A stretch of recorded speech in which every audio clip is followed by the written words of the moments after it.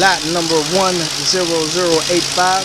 This is a 2009 Ford Crown Vic. The vehicle is currently running. The vehicle can be inspected at 2100 Adams Place Northeast, Washington, D.C. before the auction closes, 8 a.m. to 3 p.m.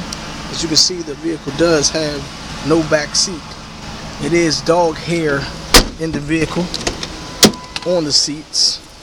In the vehicle, I believe it was a um, canine unit from the Metropolitan Police, DC.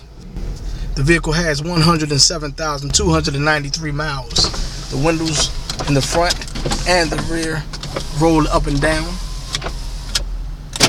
Power locks work as well. The radio is working.